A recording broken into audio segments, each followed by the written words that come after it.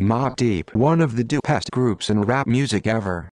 The groups consisted of Havoc and Prodigy. Shook Ones is one of the greatest songs ever.